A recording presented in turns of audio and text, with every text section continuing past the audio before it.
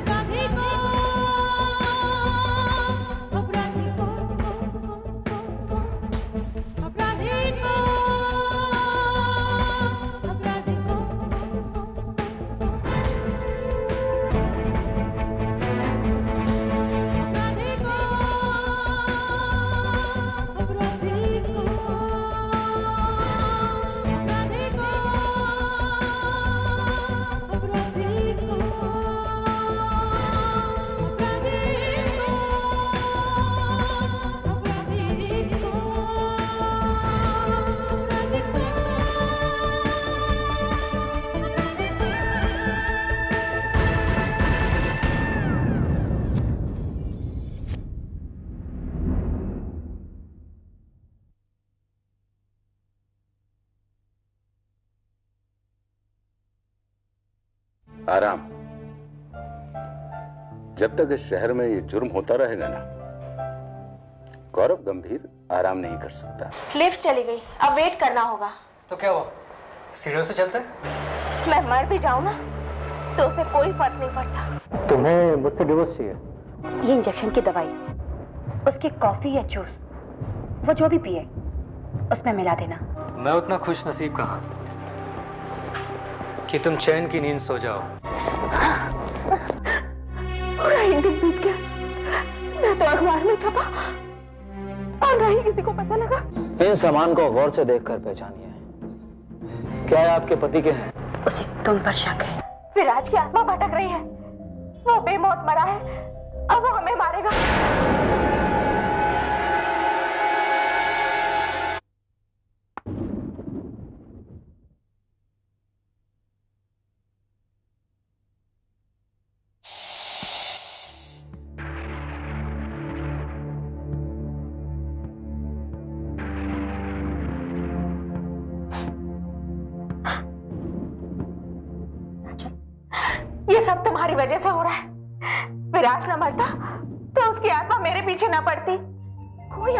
आत्मा नहीं होती। ये भूत, प्रेत, आत्मा जैसी कोई चीज़ नहीं होती राजल ये सब कुछ तुम्हारा वहम है। मेरा वहम? वो कोट? वो मोबाइल? कंप्यूटर पे क्या लिखा था तुमने पढ़ा नहीं? ही वो अकेली वो मुझे नहीं छोड़ेगा। मार डालेगा वो मुझे। राजल होश में आओ राजल होश में आओ। किसी ने हमें विराज की कार को खाई में ढकेलते हुए देख लिया। बस, इस बात का फ़ायदा उठा रहा है वो। वो तुम्हें डरा रहा है राजल डरा रहा है। ताकि तुमसे ज़्यादा पैसे हासिल कर सके। समझे तुम? मैं पुलिस को सब कुछ सच सच बता दूँगी कि हम दोनों ने विराज को मारा है। आर यू मैड तुम्हारी इस बेवकूफ़ी की वजह से मैं मुश्किल में पड़ जाऊँगी, समझी तुम? खून किया है तो सजा भी मिलेगी ना, राजन? मैंने ये सब कुछ तुम्हारी दोस्ती की खातिर किया है। इसीलिए मैंने तुम्हारी मदद की है। मैं मैं कुछ नहीं जानती। तुमने अगर इस तरह की बेवकूफ़ी की तो मैं पुलिस को बता दूँगी। कि मैंने कुछ नहीं किया। और मैं कुछ नहीं जानती। फिर भी पुलिस तुम्हें नहीं छोड़ेगी। मुझे कुछ नहीं होगा। वो लोग सोचेंगे विराज की मौत से मुझे नहीं तुम्हें फ़ायदा हुआ। तुम्हें उसके जुल्मों से मुक्ति मिली। मुझे क्या मिला? तो फिर तुमने ऐसा क्यों किया? तुम्हारे लिए राजन तुम्हारे लिए। हाँ ताकि मेरा हाथ फेल हो जाए और मेरी सारी प्रॉपर्टी तुम्हें मिल जाए। राजन तुमने तुमने अपनी वसीयत में लिखवाया था कि अगर तुम्हें कुछ हो गया तुम्हारी सारी जायदाद मुझे मिल जाए। मैंने तो नहीं कहा था ना? नहीं चाहिए मुझे तुम्हारी एक जायदाद, तुम्हारी एक दौलत। रख लो अपने पास सारी जायदाद। मुझे कुछ नहीं चाहिए तुम्हारी जायदाद। समझे तुम? सब कुछ दान कर दो तुम्हारी दौलत। कुछ भी नहीं चाहिए मुझे।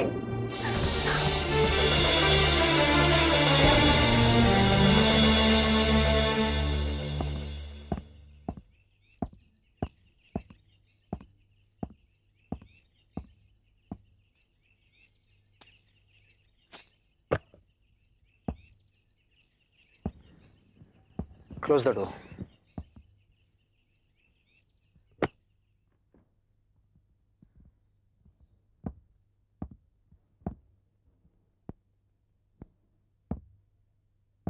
हर एक चीज़ उसकी जगह पर रखी गई है। लगता है कमरे को बड़े ध्यान से ठीक ठाक किया गया है। लेकिन कभी कभी ऐसी बातें भी शक पैदा कर देती हैं। वैसे तुम्हारा क्या कहता है? हम लोग एकदम ठीक जगह पे पहुँचे हैं।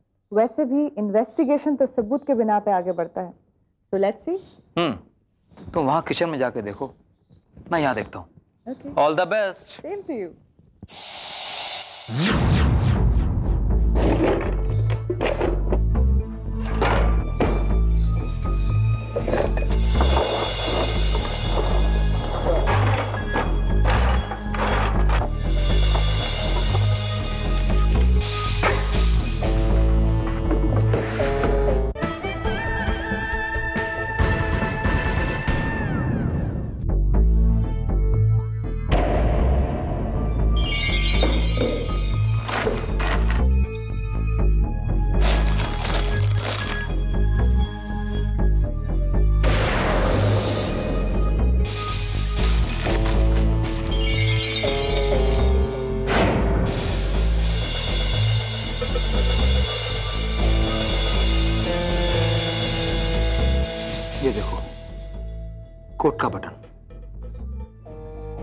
कोट से टूट कर नीचे गिरा और फिर सोफे के नीचे चला गया। Right right. और यहाँ देखो। वहाँ का फर्श और यहाँ का फर्श। इतना फ़र्क है। यहाँ के फर्श के ऊपर ये मिट्टी के मार्क्स देखो। मुझे लगता है यहाँ पर शायद एक कालीन बिछा हुआ था जो इस वक्त यहाँ मौजूद नहीं है। मुझे डस्टबिन से ये बिल मिला है। किसी प्रोविज़न स्टोर का है जिस पर सैटरडे की डेट लिखी हुई है। इससे पूछताछ करते हैं। चलो। आप इन्हें पहचानते हैं?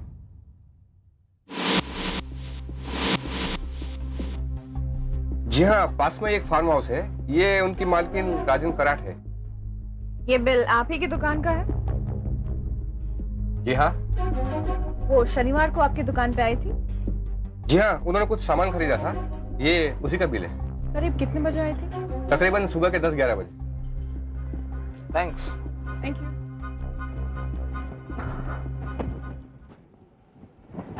हॉस्पिटल और फार्म हाउस के बीच तीन पेट्रोल पंप है। देखते हैं राजल की बातों में कितनी सच्चाई है।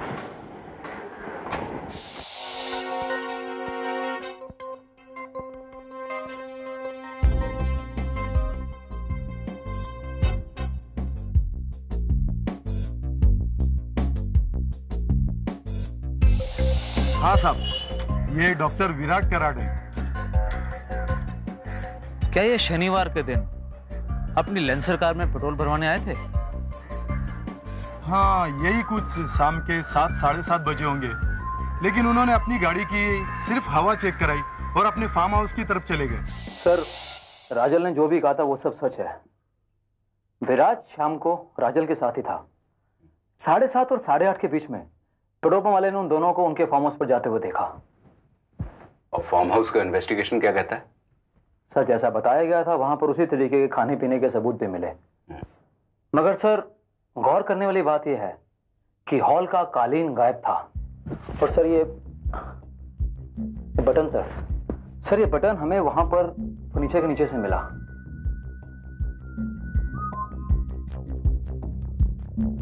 जूलिया से बात करनी पड़ेगी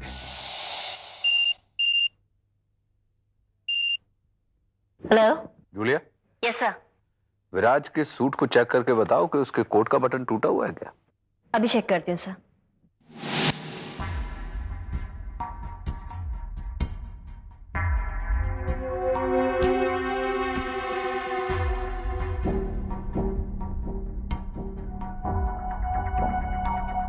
सर मैंने कोट पूरा चेक कर लिया है।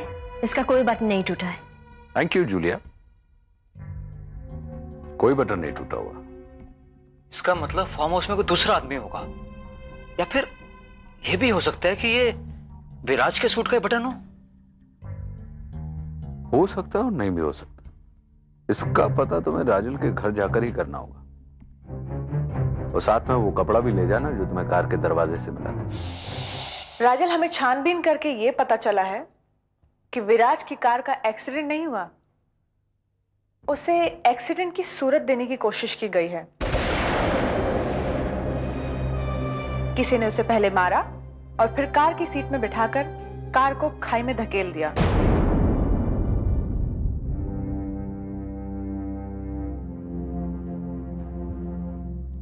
अब क्या तुम हमें यह बता सकती हो कि विराज की किसी के साथ दुश्मनी थी?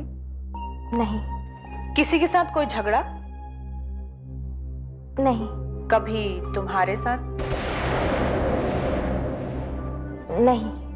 तो फिर फार्म हाउस में तुम्हारे साथ तीसरा आदमी कौन था?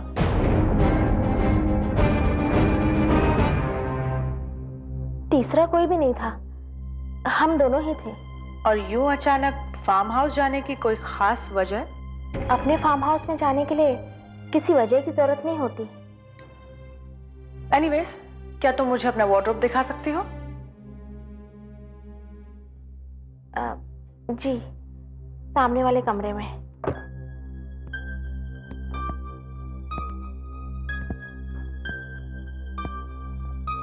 ये वाली मेरी कबर है।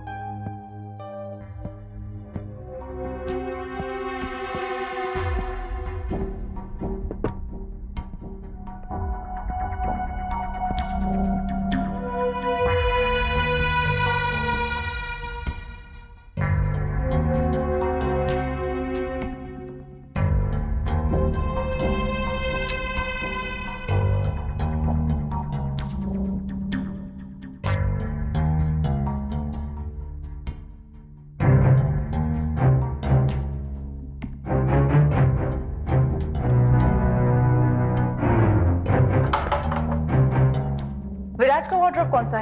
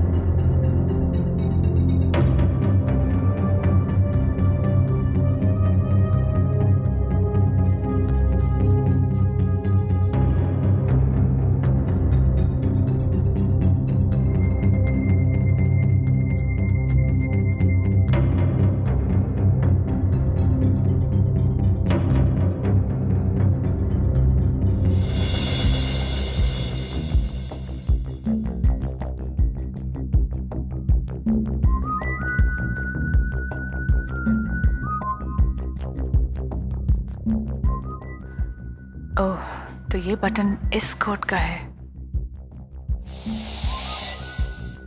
काफ़ी अच्छा कोट है। कहाँ सिलवाया था मेराज ने? केएम टेलर्स के पास। वो अपने सारे सूट वहीं पर सिलाते थे।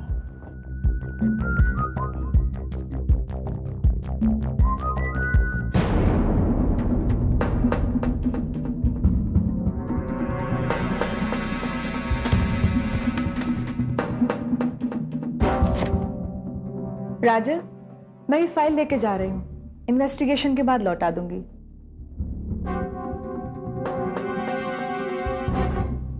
You know what it's really strange तुमने एक बार भी ये इच्छा नहीं जताई कि तुम्हारे पति का कातिल पकड़ा जाए।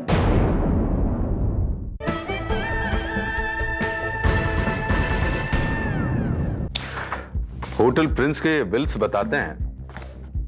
कि पिछले दो तीन महीने से विराज ने अपने नाम से एक रूम बुक करवाया था होटल में जहाँ पे वो हर दो तीन दिन बाद रात में रुकता था।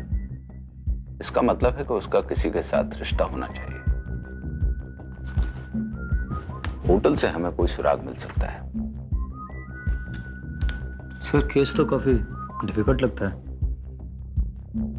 इंटरेस्टिंग है। फार्म हाउस से तुम्हें ये जो कोट का बटन मिला है ना ये उसी कोट का बटन है जो इस वक्त विराज के वार्डरोब में मौजूद है। और जूलिया बता रही थी कि लाश के ऊपर जो कोट मिला है उसमें सारे बटन मौजूद हैं। निखिल मिया? जी सर। प्रकाश टेलर्स के पास जाइए और इस कोट का राज पता कीजिए। Right sir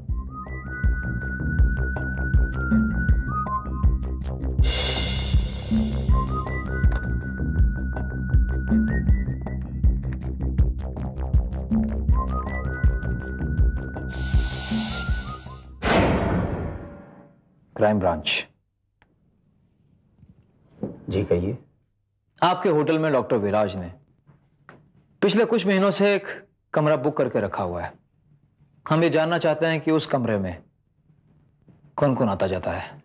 वो उनकी पर्सनल मैटर थी।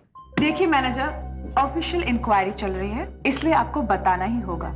You have no choice so please tell us doctor Viraj किसी औरत के साथ हमारे होटल में हर दूसरे तीसरे दिन आते थे। डॉक्टर विराज के उस कमरे में उस औरत के अलावा क्या कोई और आता जाता था?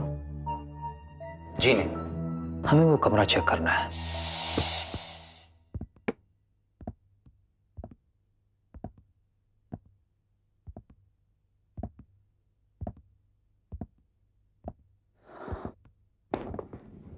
पूजा तुम वहाँ देखो मैं यहाँ देखता हूँ।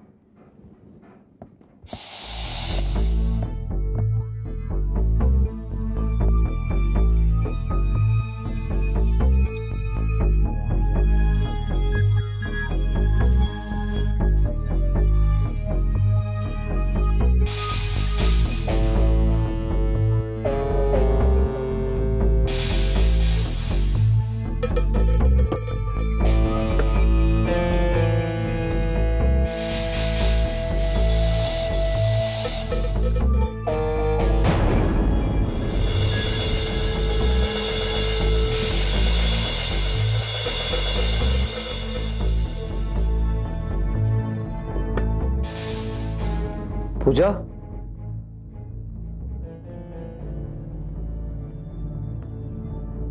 ये तो डायमंड इयरिंग है। हम्म। ये उसी औरत के होंगे जो डॉक्टर विराज के साथ इस कमरे में आती थी। अरे साहब क्या बात करूँ? डॉक्टर विराज ने जब से सूट पहनना शुरू किया है तब से लेकर आज तक उन्होंने सारे सूट यहीं पर सिलवाए हैं। अच्छा वो जो आप अरे साहब क्या बात करूँ? मेरे तो बड़े बड़े फ़िल्म स्टार्स भी ग्राहक हैं। भाई साहब हम लोग आपसे बाद में बात करते हैं ना। पहले आप ये बताइए वो जो बिल मैंने आपको बोला था आपने निकाला है कि नहीं? अरे रमन बिल मिला। वो बिल तो मैंने कब से ढूंढ के रखा है? पर आप मांगे तब दो ना। ला जल्दी ला चल। ये लीजिए। चल जा।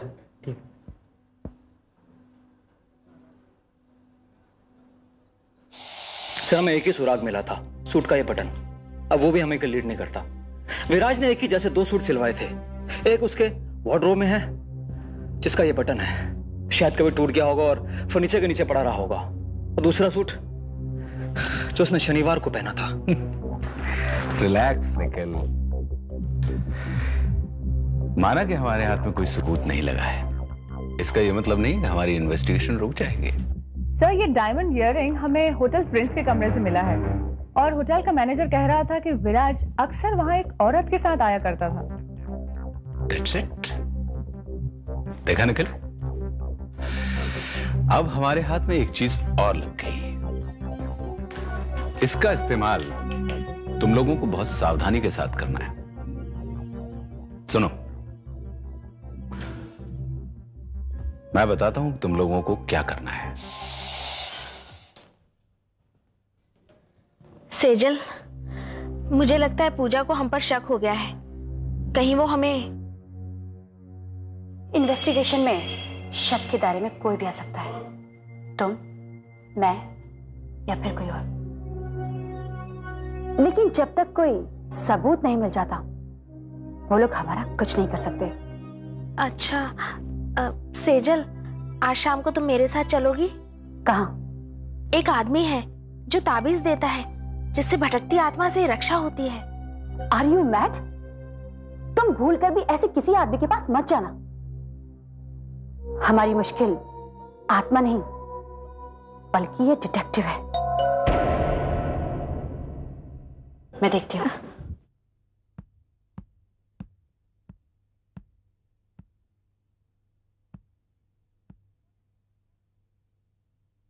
कौन आया है?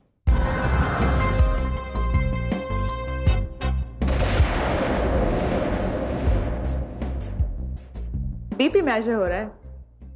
वैसे मैं पूछताछ करने नहीं आई हूँ। डोंट वरी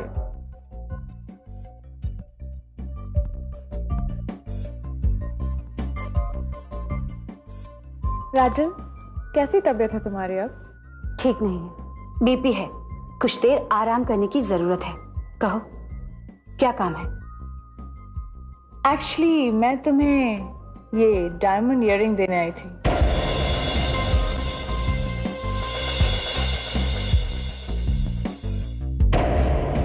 ये लो। छानबीन करते करते हम होटल प्रिंस पहुँचे, जहाँ तुम्हारे पति का कमरा काफ़ी समय से बुक्ड है। कमरे की तलाशी लेते वक्त मुझे ये डायमंड इयरिंग मिला। सोचा तुम्हें लौटा दूँ। काफ़ी महँगा होगा ना?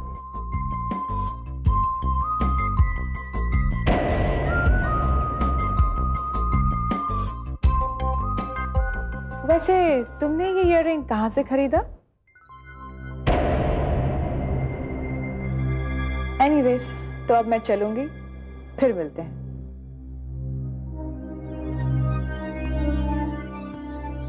सी यू टू डॉक्टर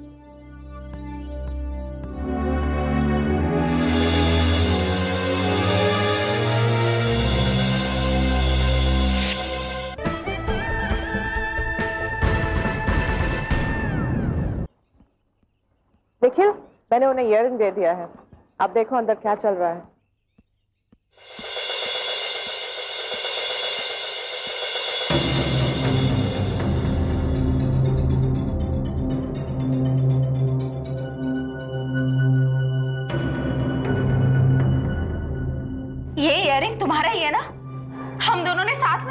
खरीदा था। हाँ राजन।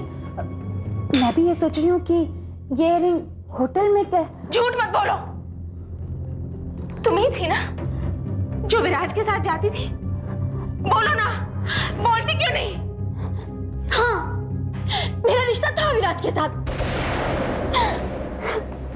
हम दोनों एक ही प्रोफेशन में थे।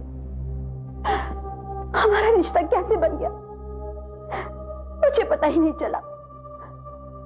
पर राजन मैं तुम्हें सब कुछ बताने वाली थी। पर विराज ने मुझे रोक लिया।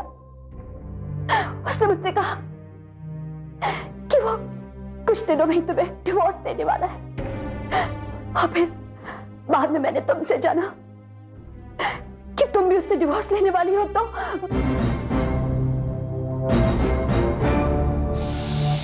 तो हमारा अंदाज़ा सही निकला। सेजल का विराज के साथ रिश्ता था जिसका पता राजल को नहीं था। ये तीनों किसी ना किसी रूप से एक दूसरे से जुड़े हुए हैं एक ट्रायंगल की तरह। विराज को सेजल भी तो मार सकती है। हाँ क्यों नहीं? विराज ने सेजल से वादा किया होगा और मुकर गया होगा। या फिर हो सकता है कोई और वजह रही हो? हम्म। अभी तक हमने राजल को वॉच किया है। अब हमें सेजल की छानबीन करनी चाहिए।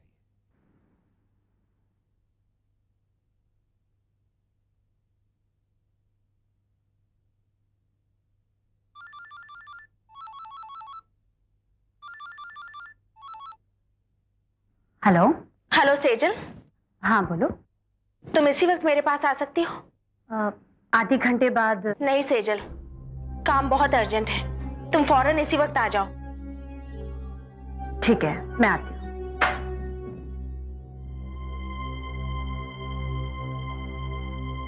पढ़ो इसे। ये इतने सारे खत और ये इतने सारे कार्ड मुझे विराज की कैबिन में मिले। पढ़ो इसे। पढ़ो ना।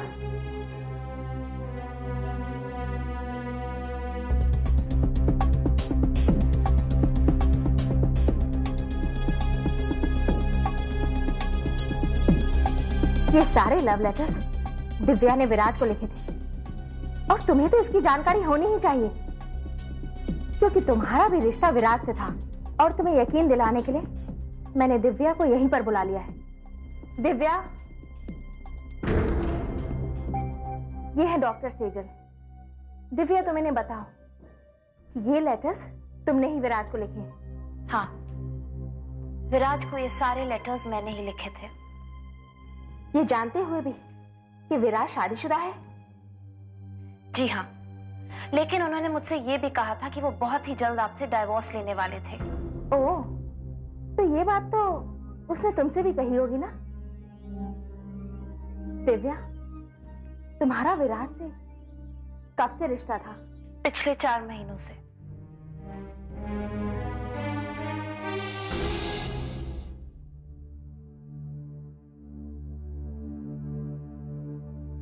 मैंने दिव्या को फ़ोन करके यहाँ बुलाया था।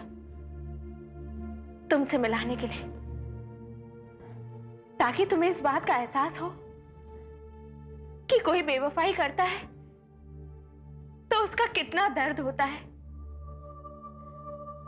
विराज ने न तुमसे वफादारी की? और न मुझसे? उसने उसने हम दोनों को ही इस्तेमाल किया है। हम दोनों को।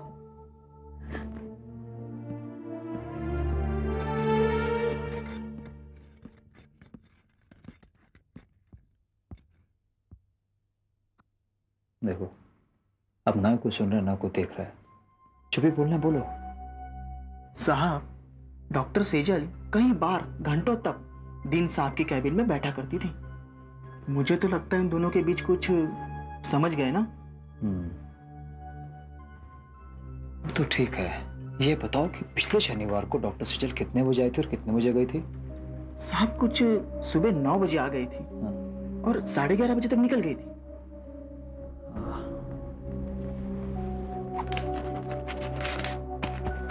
शुक्रिया साहब। डॉक्टर सेजल दोपहर को हर रोज वार्ड पे राउंड पे आती है पर शनिवार को नहीं आई थी साहब। थैंक यू डॉक्टर सेजल को ही डीन साहब ने डायसेक्शन मॉर्ग का इंचार्ज बनाया है। वो अक्सर वहीं पे होते हैं। वो अपने लेक्चर्स के नोट्स वहीं पे बनाते हैं। उस दिन भी मैंने डॉक्टर सेजल को वहीं पे देखा था। कितने बजे? करीब दस सवा दस बजे होंगे। अभी भी वो शायद वहीं पे होंगे। थैंक्स डॉक्टर सही हैव अ ग्रेट डे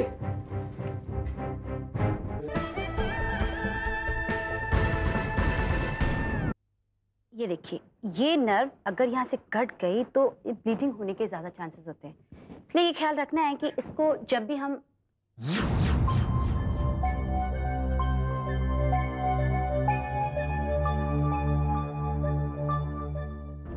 अब आप लोग जाइए। बाकी की स्टडी हम कल करेंगे। You can go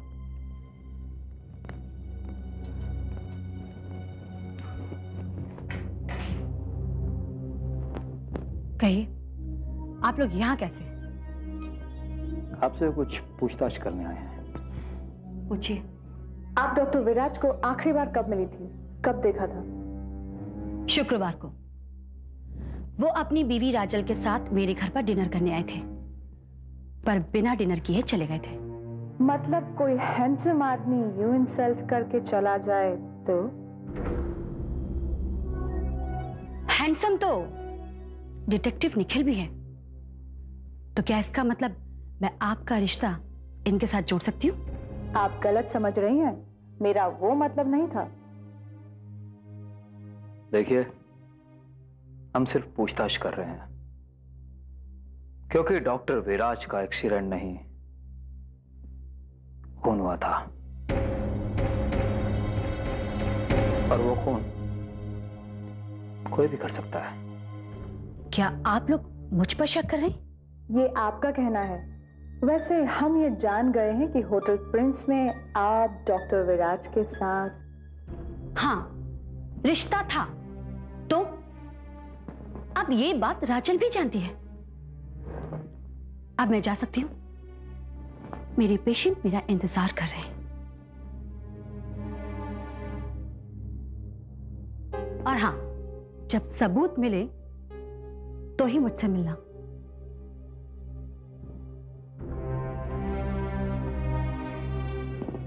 What a woman. Beauty with a brain. Hello mister Nikhil अब चलें? इससे पहले कि वो अपने फ्लैट पर पहुँचे मुझे वहाँ पहुंचकर उसके फ्लैट की तलाशी लेनी है और तुम्हें हॉस्पिटल के गेट पर एंट्रीज चेक करनी है। यस yes, मैम क्या मैंने कभी किसी को रोका? चलो। Move.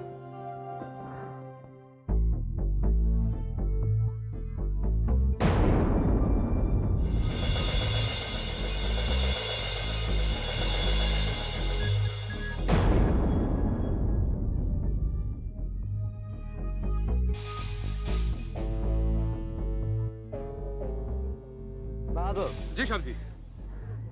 शनिवार की रात। ड्यूटी पर तुम थे? जी हाँ साहब जी। डीएन साहब की गाड़ी रात को साढ़े बारह बजे आई और एक बजे चली गई। जी हाँ साहब जी। क्या तुम मुझे बता सकते हो कि डीएन साहब ने उस रात कौन से रंग का सूट पहना था? साहब जी गाड़ी में डीन साहब नहीं थे। गाड़ी तो डॉक्टर शेजल चला रही थी। क्या? जी हाँ साहब जी मैंने खुद दरवाज़ा खोला था।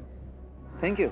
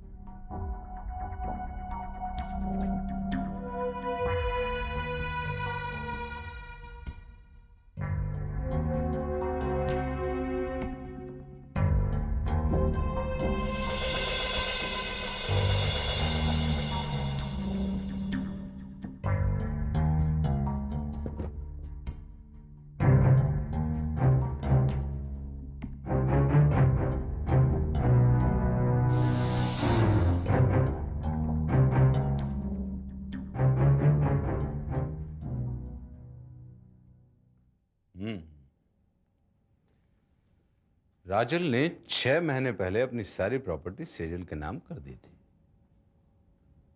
क्वाइट इंटरेस्टिंग तो इसीलिए सेजल राजल का इतना ख्याल रखती थी? यहाँ कुछ गड़बड़ लगती है। सेजल विराज की कार चला रही थी। और बीच में आधे घंटे के लिए हॉस्पिटल आई थी। और दो बजे विराज की कार का एक्सीडेंट होता है। यानी राजल के बाद सेजल विराज से मिली होगी। लेकिन कार से जो कपड़े का टुकड़ा मिला था वो सेजल की ड्रेस का था राजल की ड्रेस का नहीं। सर अगर वो ड्रेस मिल जाए तो? Sir Julia. हाँ जूलिया। बोलो।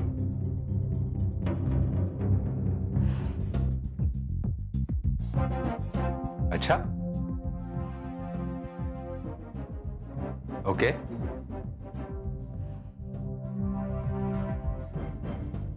thank you Julia thank you गुत्थी सुलझ गई।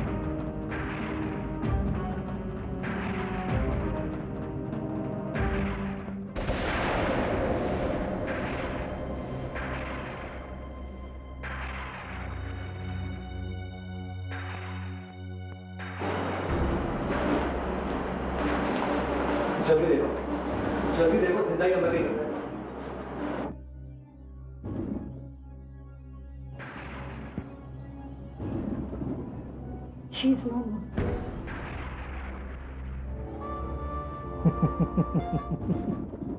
किस कमबख्त ने कहा कि इसका दिल कमज़ोर है हाँ? बहुत मज़बूत दिल था इसका। कितनी मेहनत करवाई हमसे।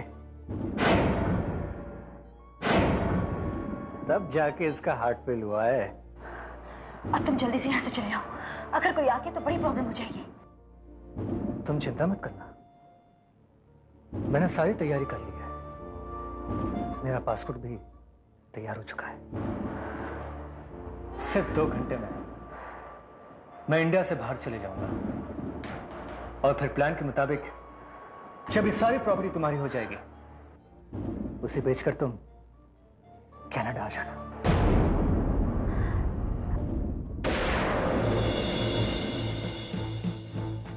ये ये तो ज़िंदा है? तुमने तुमने मुझे धोखा दिया।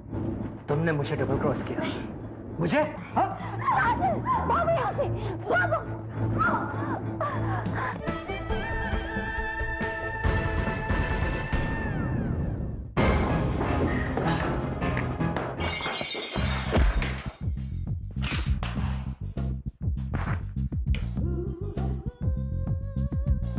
इट्स ऑल ओवर विराज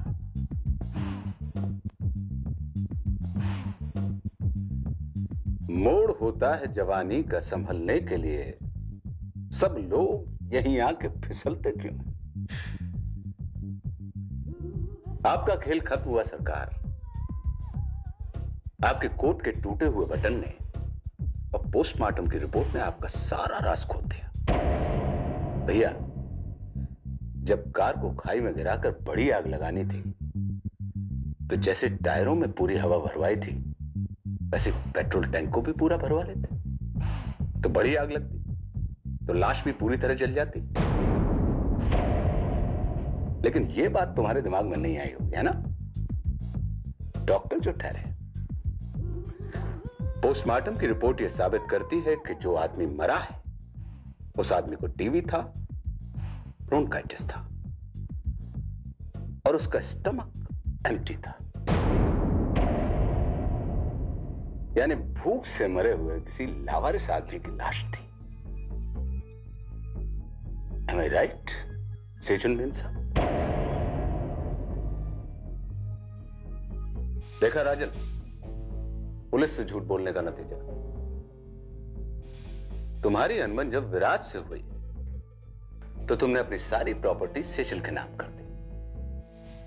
और तब मिस्टर विराज ने सेजल को अपने प्यार में फंसाना शुरू कर दिया। क्योंकि तुम्हारे मरने के बाद सारी प्रॉपर्टी सेजल के नाम हो जाती जो खुद ब खुद विराज साहब को मिल जाती। तुम हार्ट पेशेंट हो।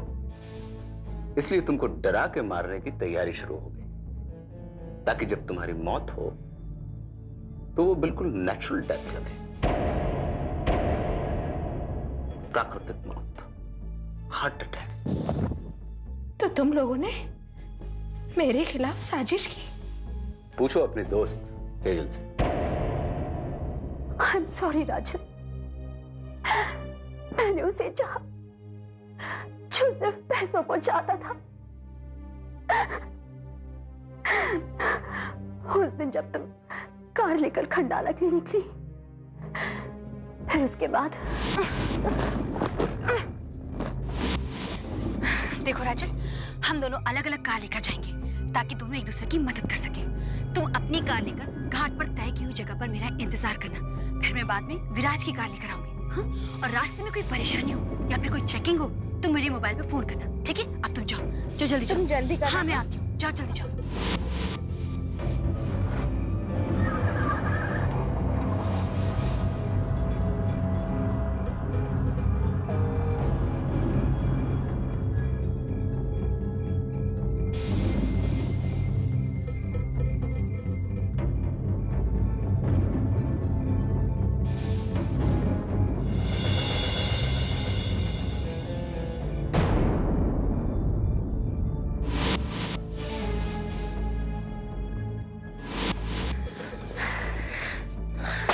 जल्दी हॉस्पिटल चलो हाँ चलते हैं चलो। तुमने राजल को समझा दिया ना? कौन से घाट पर इंतज़ार करना है? हाँ मैंने समझा दिया। चलो। आओ।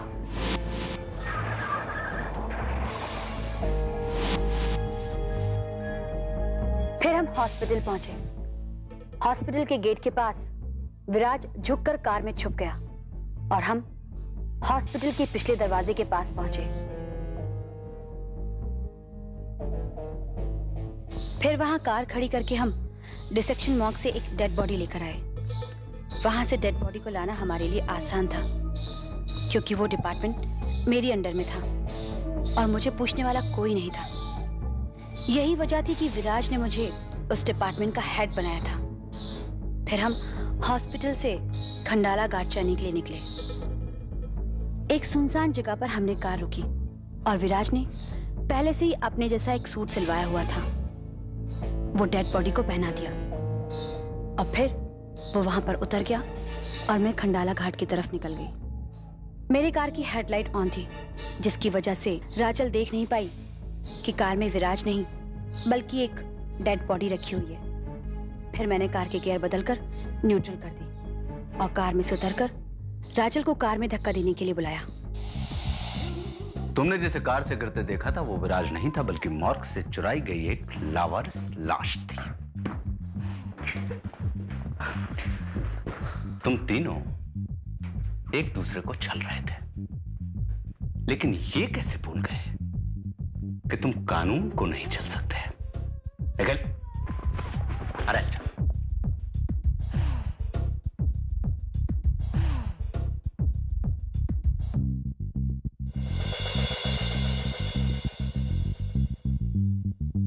के नाम मर्दों दोरे व्यक्तित्व का नाटक। बहरूपियों का भी कोई इतिहास हुआ करता है।